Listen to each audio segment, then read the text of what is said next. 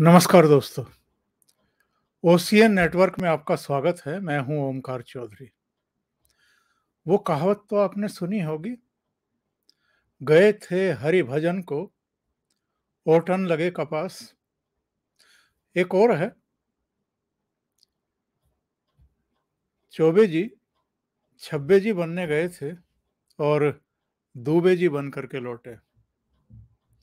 राकेश टिकैत ने 18 अगस्त को लखीमपुर खीरी में जो राजापुर मंडी है, वहाँ पर धरना प्रदर्शन, आंदोलन, जो चाहे वो कह लीजिए, शुरू किया था। ऐलान किया था कि पिछहत्तर घंटे तक चलेगा। और मांगे क्या थी? वही पुरानी, जो वो राग अलापते रहे हैं।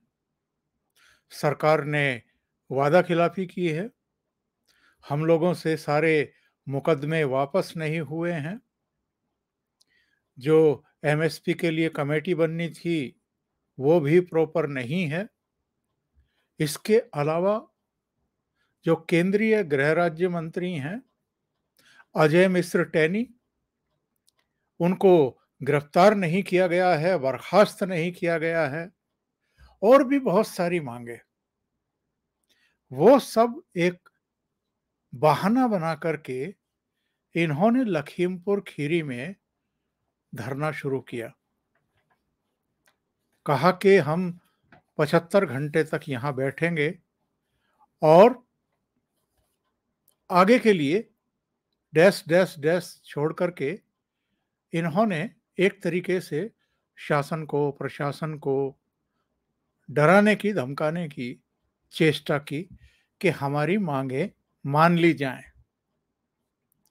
लेकिन ऐसा क्या हुआ कि पचहत्तर घंटे पूरे होने से पहले ही, बल्कि जिस दिन ये ख़त्म करने का ऐलान इन्होंने किया था कि 21 तारीख को हम ख़त्म करेंगे तो 20 तारीख को ही ख़त्म क्यों कर दिया? एक दिन पहले ख़त्म क्यों कर दिया? और वहाँ से ये क्यों भाग खड़े हुए? अब वहाँ का जिला प्रशासन और जो पुलिस प्रशासन है, वो इन लोगों के खिलाफ कार्रवाई करने जा रहा है। और यही वो कारण था कि ये पचहत्तर घंटे पूरे होने का इंतज़ार करने से पहले ही वहाँ से बोरिया बिस्तर समेट करके निकल लिए। पूरा प्रकरण क्या है? इस पर चर्चा करेंगे। लेकिन इन्होंने क्या किया? धरना खत्म करने से पहले, जब इनके लोग डीएम को ज्ञापन देने के लिए पहुँचे तो वहाँ इन्होंने ये इच्छा व्यक्त की कि हमारी मुख्यमंत्री योगी आदित्यनाथ से बात करा दी जाए। और जिला प्रशासन ने, जो वहाँ मंडलायुक्त हैं, दूसरे लोग हैं उन्होंने इससे साफ़ इनकार कर दिया। यानी ना इनकी कोई मांग मानी गई, ना इनकी मुख्यमंत्री योगी आदित्यनाथ से बात कराई गई। या आप ये भी कह सकते हैं कि योगी आदित्यनाथ ने इनसे बात करने से इनकार कर दिया, क्योंकि जिला प्रशासन ने इनको जानकारी दी कि हम सक्षम नहीं हैं कि आपकी मुख्यमंत्री से बात कराएँ। तो इससे ज़्यादा बेइज्जती और क्या होगी? ये जिला जेल में बंद, तीन जो आपका वो तिकोनिया कांड के आरोपी हैं, जिन्होंने पीट पीट करके तीन बीजेपी के कार्यकर्ताओं की हत्या कर दी थी, उस घटना के बाद आशीष मिश्रा ने जो थार से चार आंदोलनकारियों को कुचल दिया था और दस घायल हो गए थे तीन अक्टूबर 2021 को। उसके बाद बीजेपी के भी कुछ वर्कर की पीट पीट करके हत्या की गई थी। उस मामले में कुछ लोग गिरफ़्तार हैं, जेल में बंद हैं तो ये उनसे मिलने के लिए पहुँच गए। जेल प्रशासन ने इनसे कहा कि केवल पाँच लोग आप जा सकते हैं, मिल सकते हैं। वहाँ भी इन्होंने जिद मारी करनी शुरू कर दी। और ये कहा कि हम तो 10 लोग मिलने के लिए जाएँगे। उस पर काफ़ी तनातनी की स्थिति रही। वहाँ भी धमकी देने लगे कि हम बीस हज़ार लोगों को यहाँ बुला लेंगे, जेल पर धरना शुरू कर देंगे। और इससे पहले भी जब ये 18 अगस्त को राजापुर मंडी में पहुँचे और धरना शुरू किया।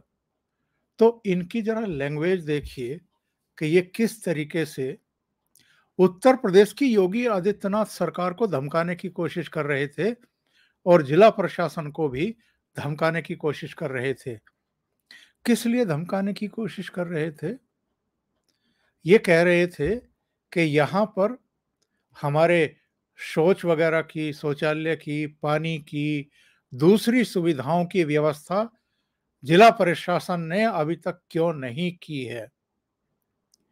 और कान खोल करके सुन ले, यहाँ एलआईयू के लोग भी होंगे, यहाँ वो भी होंगे, और सरकार सुन ले जहाँ जहाँ हम आंदोलन करते हैं, ये व्यवस्थाएँ हो जाती हैं, वो व्यवस्थाएँ हो जाती हैं, हम एक घंटे का समय दे रहे हैं।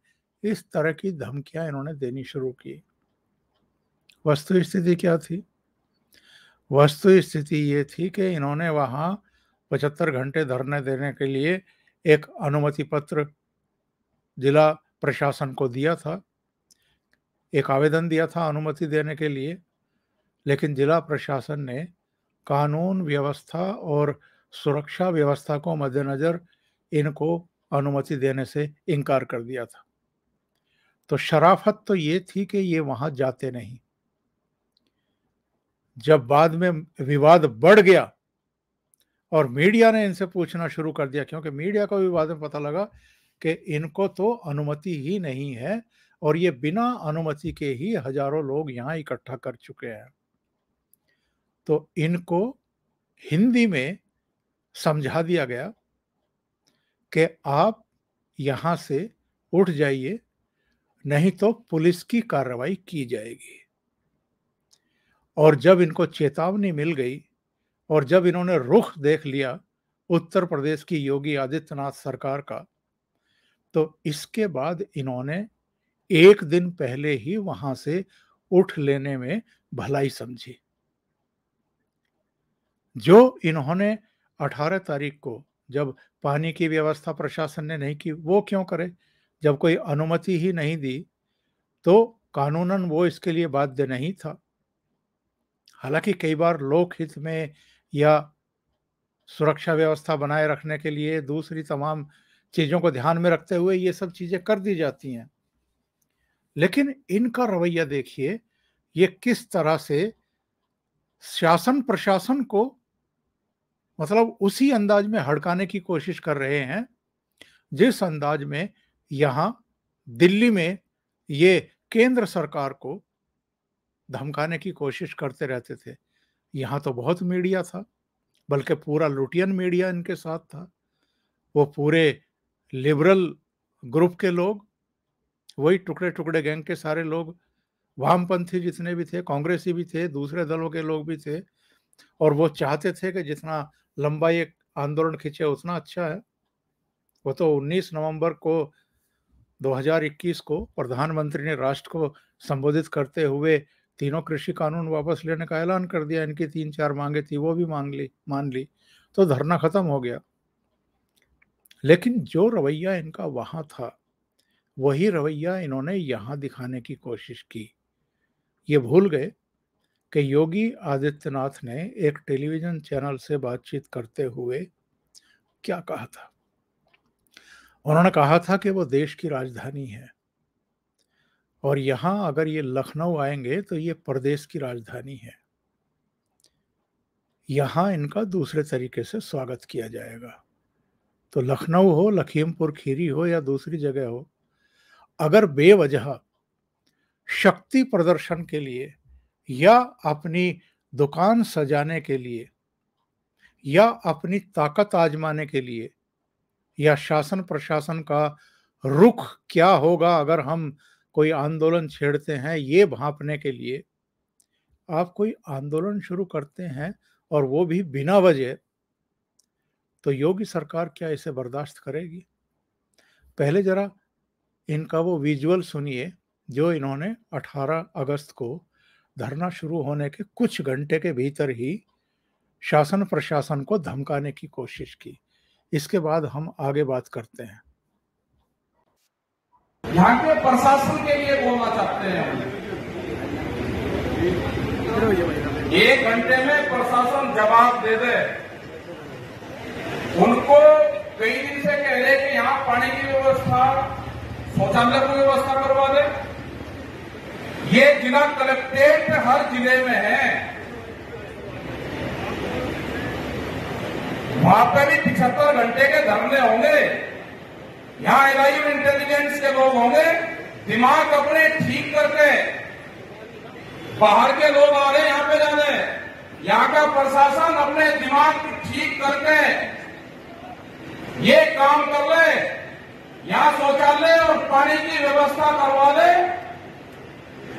और नहीं तो जिला मुख्यालय वहाँ पे भी हैं, जितने दिन यहाँ पे धरना चलेगा, जिला मुख्यालय वहाँ के भी बंद रहेंगे सब जगह यहाँ एलआईयू के लोग, अधिकारी कोई और तो एक बार यहाँ पर मंच पर आ जाए। पिछहत्तर घंटे यहाँ पर हमको रहना है हम नहीं सुविधा दोगे तो सुविधा हम लेना जानते हैं कि सुविधा कैसे ली जाती है। अपना दिमाग ठीक कर ले प्रशासन और यहाँ की सरकारें। मतलब उनके कहने से आप काम करेंगे। कि उनको पानी देना वहाँ पर कोई सुविधा नहीं देनी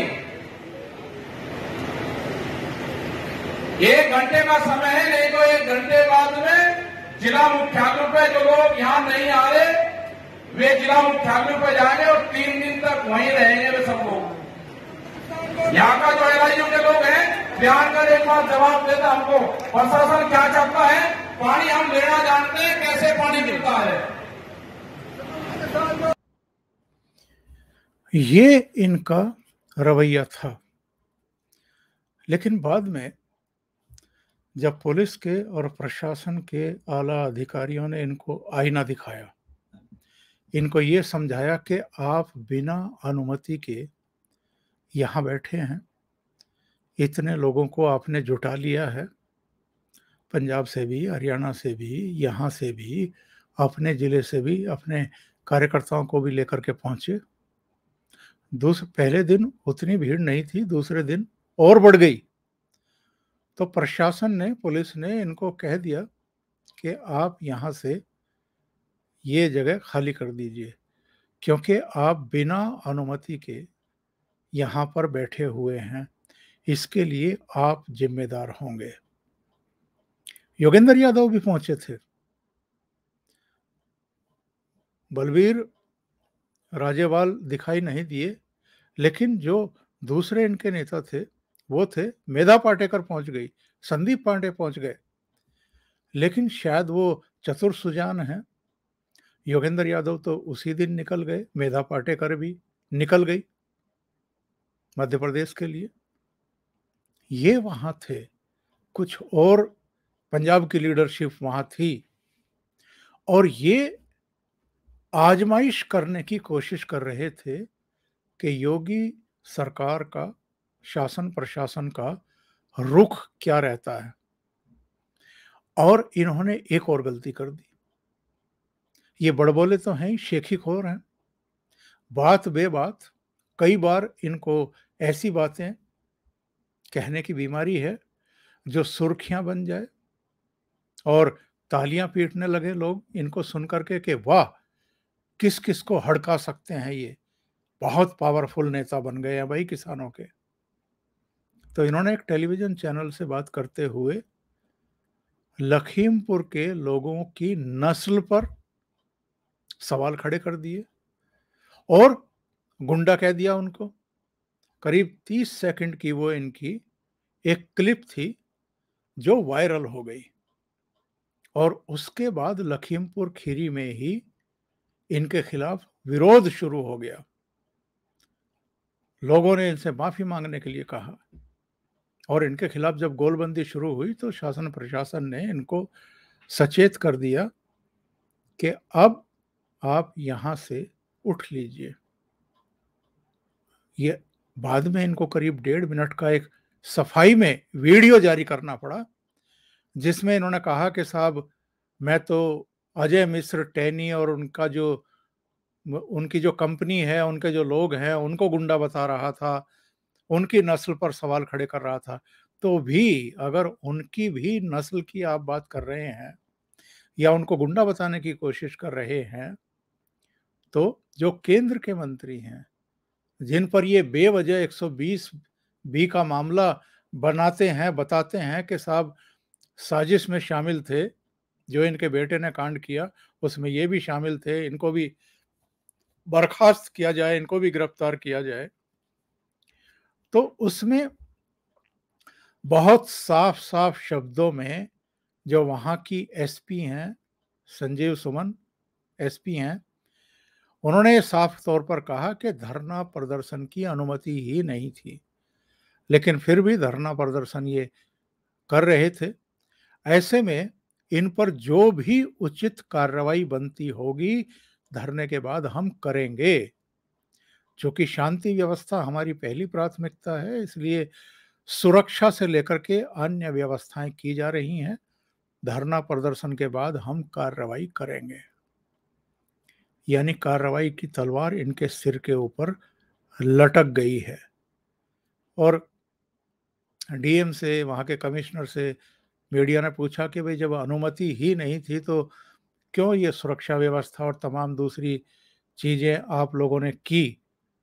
तो उस पर जो है, फिर जिला प्रशासन की तरफ़ से ये कहा गया कि इन्होंने धरने की, प्रदर्शन की अनुमति मांगी थी, लेकिन ज़िले में शांति व्यवस्था के मद्देनजर रखते हुए धरने की अनुमति इनको नहीं दी गई थी। और हैरानी की बात यह है कि बिना अनुमति के ज़िले में इतना बड़ा धरना इन्होंने वहाँ जाकर के चलाया, इतनी भीड़ वहाँ जुटा ली। प्रशासन ने, शासन ने इन पर दबाव बनाया। आप खत्म करिए, नहीं तो हम कार्रवाई करेंगे। पुलिस कार्रवाई की चेतावनी दी गई। और उसी का नतीजा है कि ये लोग वहाँ से फिर दुम दबा करके भागे।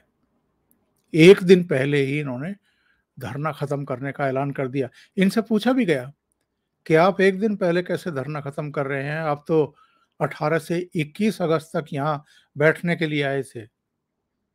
तो इन्होंने कहा कि हम धरना खत्म कर रहे हैं, आंदोलन खत्म नहीं कर रहे हैं। मतलब जो लैंग्वेज उन्होंने दिल्ली में की थी। और 6 सितंबर को हम दिल्ली में बैठक बुला रहे हैं, वहाँ पर जो है आगे की रणनीति तैयार करेंगे और यहाँ तो हम आंदोलन के बीज बो करके जा रहे हैं। लेकिन लखीमपुर खीरी में इन्होंने जो ये धरना प्रदर्शन, भाषणबाजी की ये एक्चुअल में आजमाने की कोशिश कर रहे थे, देख रहे थे कि आगे को हम कोई धरना, प्रदर्शन, आंदोलन कर भी सकते हैं कि नहीं कर सकते हैं? शासन प्रशासन उसकी अनुमति देगा या नहीं देगा? और इनको संकेत और संदेश योगी सरकार ने दे दिए। अभी के लिए इतना ही। बहुत बहुत धन्यवाद। अगर आपको ये चैनल और इसके कंटेंट पसंद आ रहे हैं तो लाइक करें, कमेंट करें, वीडियो को शेयर भी करें। अभी तक अगर आपने ये चैनल सब्सक्राइब नहीं किया है तो सब्सक्राइब कर लें और साथ में लगे बेल आइकॉन को दबा दें, ताकि आगे आने वाले वीडियो और उनके नोटिफिकेशन आप तक पहुँचते रहें। बहुत बहुत धन्यवाद। नमस्कार।